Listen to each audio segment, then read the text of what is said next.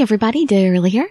Thank you so much for joining me for another episode of The Charming Empire along Kagemitsu Togawa's route, our childhood friend. In the last episode, he helped us by rescuing us from our really mean tutor, and so hopefully now our tutor will actually be nice to us from now on. But he is one really intimidating guy around the palace.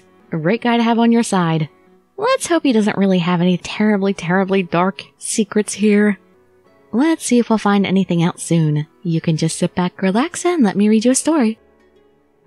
I take out all of my materials for my lesson and wait for my tutor at my desk. But no matter how long I wait, my tutor doesn't come. That's strange. I glance at the clock again. It's already 30 minutes past our usual meeting time, and there's no sign of her.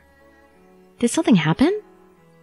I spread out my things and decide to review what I learned yesterday. Let's see, the current government was set up in. I read the textbook out loud so the info stays in my head. Now she won't be disappointed if there's another test. Kagemitsu was acting strangely yesterday. He's usually such a nice person, but he really stood up against my tutor. I guess he is my brother's right hand man. I'm so glad he saved me yesterday. Just as I get back to my studies, there's a quiet knock at my door. Come in. Looks like my tutor's here. I won't disappoint her today. When I sit up in my chair, Kagemitsu comes in the room, pushing a trolley with tea and treats. Sorry I'm late. Why are you here, Kagemitsu? It's time for my lesson. I give him a surprised look, but he only smiles. Are you going to be my tutor? Oh, don't worry. What do you mean? He places the tray on the table. Remember what I said yesterday? From today on, I'll teach you everything you need to know. Oh, he really is going to be my tutor.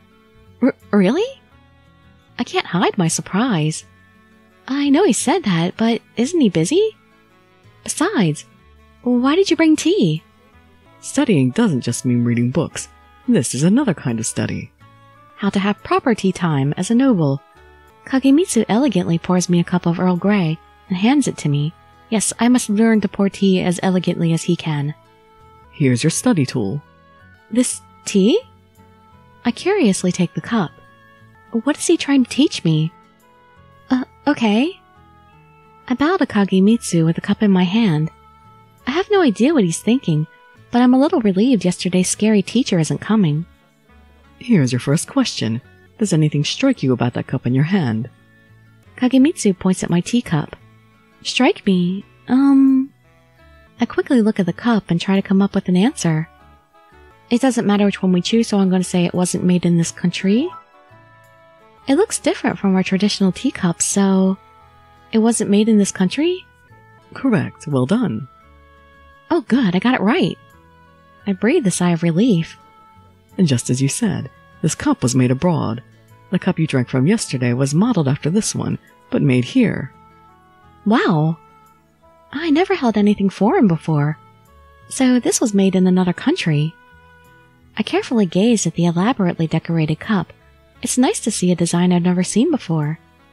I love everything this country makes, but foreign things look so classy. I stand up from my chair and take the cup to the window so I can see it in the light. It's beautiful. The sunlight reflects off the cup's white surface, making the flowers look like they're about to pop right off. The flowers really look like they're blooming. I'm so immersed in the cup that I trip on a chair leg. Oh no. Oops. Watch out.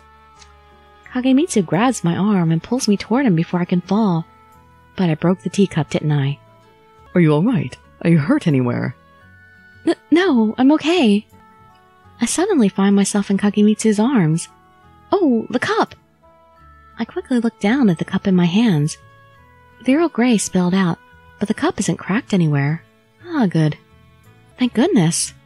Then I looked up and see the tea stain on Kagemitsu's kimono. I'm so sorry. Your kimono's stained. I must have spilled my cup when I tripped. I have to do something. I quickly pull out my handkerchief and hold it out to him. yeah, that's gonna help a lot. Here, use my handkerchief. The tea is already spreading through the fabric, but the handkerchief is better than nothing. Sorry. Don't worry about me. I'm glad you're alright. I didn't want you to get burned. But your kimono got ruined thanks to me. At this rate, it's going to stain. I don't want to upset him after all the trouble he took to bring me tea. I tried to get him to accept my handkerchief. It was my own choice to pull you toward me. If you're trying to add the tea with your handkerchief, it'll just get dirty. But he won't take it. At this rate, it's really going to turn into a stain. I muster up the courage to lean forward and use my handkerchief to dab at his kimono. In futility, I must look shameless doing this, but I can't just let Kagemitsu get a stain on his clothes. I hide my embarrassment and continue to wipe. It, it's really not a problem. I don't want your cute handkerchief to get dirty. Oh, it's making him blush. I don't care about my handkerchief. Handkerchiefs are supposed to get dirty anyway. Kagemitsu looks at me in surprise and suddenly bursts out laughing. Oh, What's so funny? I looked up at him in confusion. Sorry for laughing. I didn't think you'd tell me the same thing. The same thing as who? Did someone else say this too? Who told you the same thing? Soshi. My brother did? One day Soshi said the exact same thing you're saying now. I don't remember when it was, but one day my hand slipped and I broke a cup. S- sorry, Lord Soshi. I'll clean up the broken cup and bring you a new one. Don't worry about that. Your kimono is all wet. Don't worry about my kimono. Let me get you a new cup of tea. You can do that later. Wipe your kimono first. Don't use your handkerchief. It'll get dirty. I don't care about my handkerchief. Handkerchiefs are meant to get dirty anyway. Who'd think you would say the same thing? You might not be related by blood, but you're still your brother's sister. Did we hear it from one of our parents, maybe? Kagemitsu has a nostalgic look in his eye, as if he's thinking back to that day with Soshi.